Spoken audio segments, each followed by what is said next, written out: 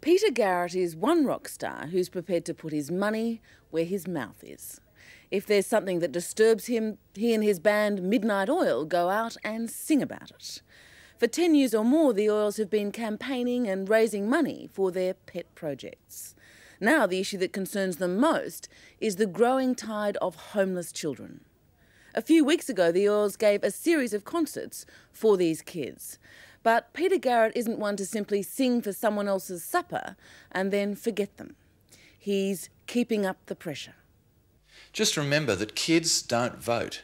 Kids haven't got any political power. Kids aren't financially strong. Kids aren't good lobby groups. Kids have got nobody to go into bat for them, really.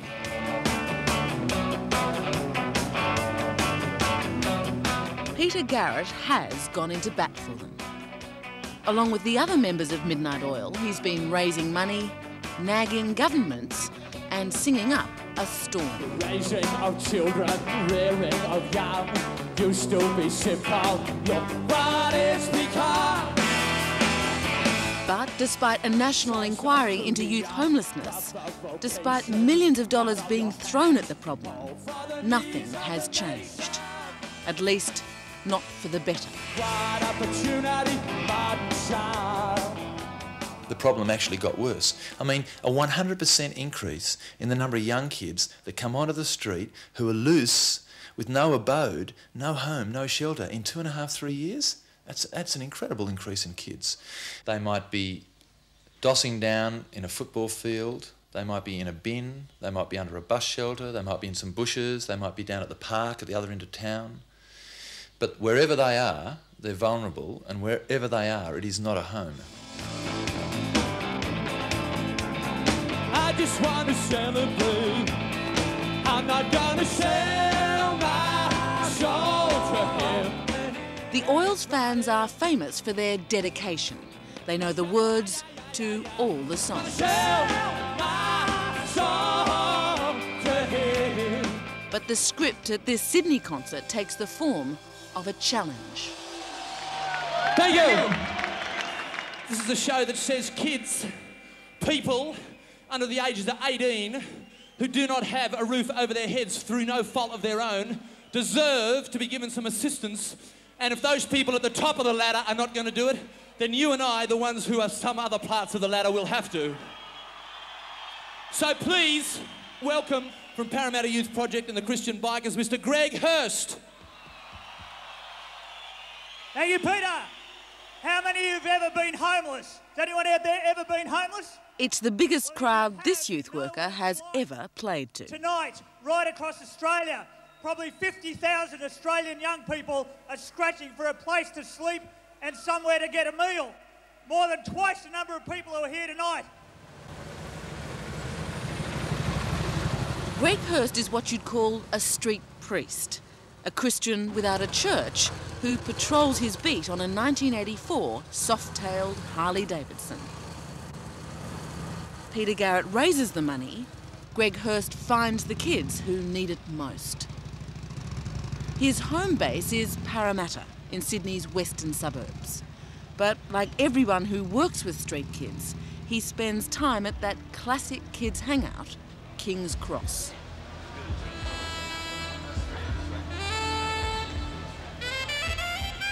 A lot of them have a history of uh, physical or sexual abuse, but there's an increase in number two who have some form of breakdown within the family where they feel unloved or unwanted uh, or abused emotionally.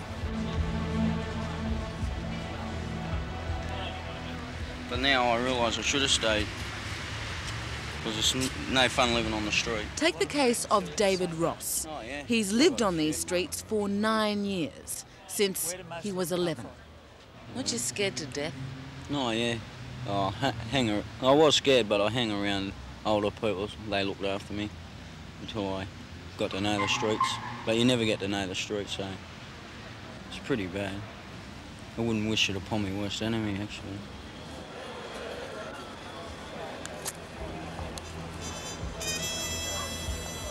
Daniel Johnson just visits the cross these days, but he used to live here. He ran away from home at 13. He had no money, no plans, and precious little education.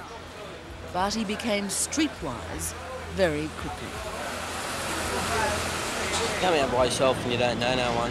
You have to make friends quick, you know, or you won't survive. Why? Because of all the groups around. Like, you know, they see one bloke by himself, you know, walking along, you know, bang, that's it. We usually have up to six boys here. This is where Daniel lives now, a house in Parramatta owned by the Home Mission Society. Steam up, getting ready to go out into independent living. How are you? How are you? Peter Garrett's concerts will help pay for more places like this. Not a refuge, but a home, where kids can stay for as long as they need to get their lives back on the rails. I mean, before you came here, what were you doing? Just being a bum like every other street kid. Yeah. And has your life has your life lifted considerably? I mean, fair income has it lifted itself? Since I've since I've got a job, it has heaps. yes. But, you know, that's that's made a really big difference. Yeah, I bet it has. You know, like I've got money at the end of the week. I'm, uh, you know, I can't get into any trouble. But you've always been able to say something. He's Reverend John Livingston runs the program, which helps between two and three hundred street kids a year. And he's offering more than just a bed for the night. Most of the refuges that have been set up are temporary refuges. In other words, the kids have to move on after three months maximum, and uh, the kids can stay with us as long as they're able. In fact, sometimes to independent living. But that's very costly. It might cost us up to $30,000 per year per young person. It was getting a bit violent at home, so I just thought I'd move before, you know, it got worse. Yeah. Some children are driven from home by violence or sexual abuse. Some are simply rebels who become runaways. John Livingston has seen it all. Probably the worst case I've come across is the fact that where some kids came home from school one day, knocked on the door, and no parents. Look in the window, no furniture. The parents have gone while they've been at school, literally disappeared off into the country or somewhere else and left their kids on the doorstep. How old were the kids? The kids were under 12 years of age. Just enough to make you wanna cry. It's just enough to make you wanna cry. They've sung for the environment, they've sung for Aboriginal rights. In fact, there's probably no good cause from Antarctica to nuclear disarmament Midnight Oil hasn't raised money for.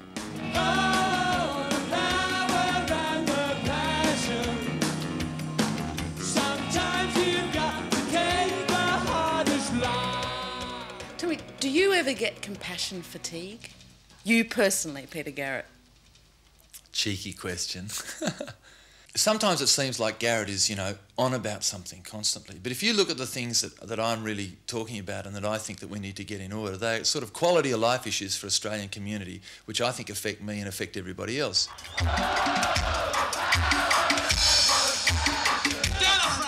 Now Garrett's turning his power to his latest passion homeless kids. If people know and the kids are there, they're visible on the streets, why does it continue? I don't think that people do know. I think that most of us uh, live in suburbs where everybody's asleep by 11 or 12 o'clock at night, and if there's a bit of noise outside, then it's just people hooning around. Uh, you're not walking around at 2 o'clock in the morning, you know, lifting up bushes and uh, checking out bus shelters or uh, going down to sort of an old derelict house and finding out what's going on. I mean, you're in bed. Now you can see that piece of uh, vinyl down there, Yeah, bedding in there. yeah, all right. By 1990, no Australian child will be living in poverty. That was the pledge. It's now autumn 1991. And this is the reality. Kids three feet away from the stormwater drain, sleeping under bits of plastic they get off building sites in Parramatta Park in Sydney. What country that has got the standard of living that we have, even in a recession, can afford not to put a small amount of money into getting kids back on the rails who, if they don't spend the money on them, are going to cost them a lot more in social breakdown and uh, unemployment benefits and jail terms and heavens knows what else over the remaining years of their lives. I mean, that's the whole key to this thing. So it's sort of self protection. If you won't do it for compassionate reasons, do it for your own good. Well, any society that, that doesn't take care of its young and its vulnerable is determined to reap the consequences of it. If you scrap heap people, they will turn your society into a scrap heap. Have you tried pretty much everything? I wouldn't say everything. I've tried heroin, speed, I drink. Peter is 14. He was sent to his first institution, a welfare home, at the age of two. He became a runaway by 10. How's it going, man? what have you been up to? One social worker who's known him since he came to the streets described him as a feral child. My stepfather, I don't get along with. My mother, oh, I get alright with her, but she doesn't like me very much at all. What about your real father? Um, my real father I've never met. Do you ever think you'd like to do something else? Yeah, I would like to do something else. What? Um, go back and live with my mother and go to school, but I can't go to school as I've been banned from every school in the ACT and kicked out of the education program. Why? Um, because I used to break windows, kick doors in, hit the teachers, and just lash out at everything. Kids that are, that are difficult for the institutions to handle and which someone might call feral are the minority. And they're the kids that need more help than anybody else because they've been so brutalised, whether it's from home. I read an interview with a street kid who said that their motto was don't talk, don't trust, and don't feel.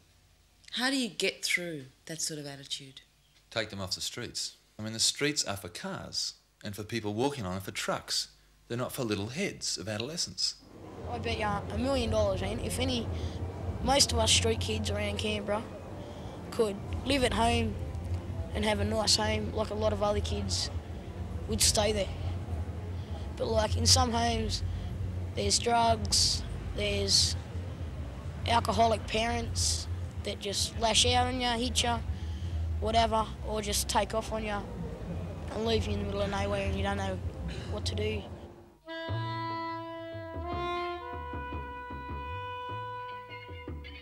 In the middle of nowhere, with nowhere near enough help. For some 50,000 children, that's the story of their lives. We've got a 100% increase in numbers. That's the minimum figure. It's probably more. And it, uh, the tap shows no signs of being turned off, particularly when we're in a recession. It's turned from a problem into an epidemic. Dad's so bad he lives in the pub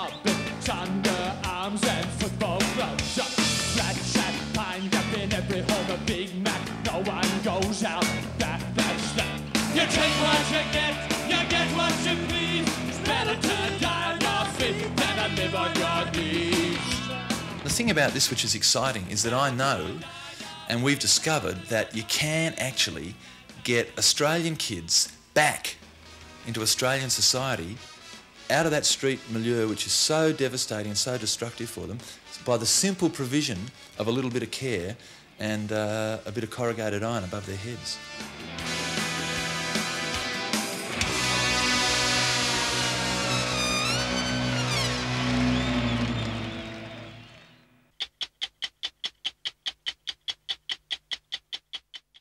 Hello, I'm Tara Brown. Thanks for watching. To keep up with the latest from 60 Minutes Australia, make sure you subscribe to our channel.